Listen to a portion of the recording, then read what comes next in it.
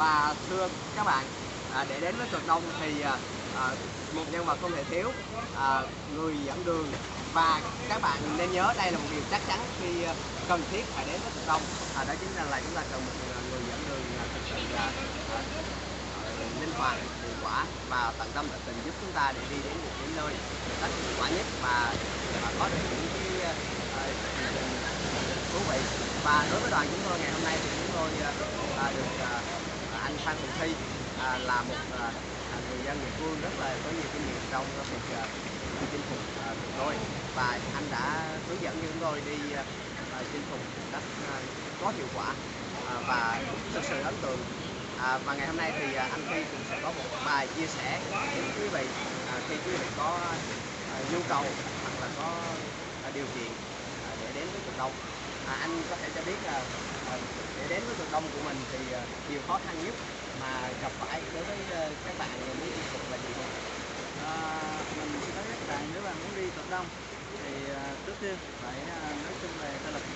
thể lực tốt về những mà bạn mà có tiền sử là bệnh tim cao áp thì các bạn mình nên đi. Còn, nếu bạn bắt đầu đá thì là là chúng ta nên đi đầu. Còn nếu mấy bạn muốn chinh phục đông ra nó đến bên đường một con đường cung đường nữa là khá nhất con đường thứ hai là con đường từ ờ, Tầm Môn đi về nhà chú hai rồi tới chú ba. Và tới Ba Đạn đó là con đường dễ nhất mà chúng ta đi là mà hành trình này khoảng 13 km. Còn hành trình thứ b, là nói chung là nó cũng khá đó là hành trình đi Bãi Nang đó là nó khá tương đương với con đường hành trình một nếu các bạn à, muốn tiếp tục con đường này mình sẽ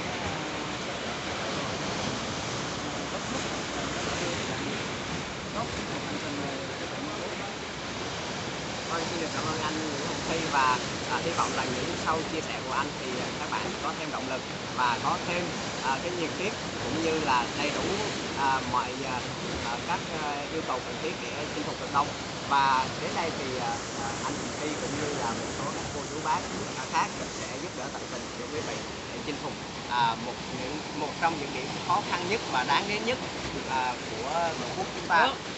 và cũng chia sẻ thêm với quý vị rằng là trong à, đoàn của chúng tôi ngày hôm nay đi à, có một điều hết sức thú vị đó chính là chúng tôi đến từ những à, miền quê khác nhau à, công tác à, ở những đơn vị khác nhau. Có những người là sinh viên học sinh à, có những người đã thậm chí là nghỉ hưu nhưng mà họ cùng có một niềm đam mê à, đã đam mê chinh phục và đã chinh phục được cực đông trong ngày à, à, ngày hôm nay. À, rạng sáng ngày à,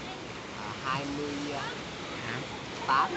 à, của tháng à, tháng 8 và à, đến đây thì à, phần chia sẻ. À, xin được tạm dừng à, hẹn gặp lại à, các bạn trong những hành trình khác. Xin kính chào. Tạm biệt tạm biệt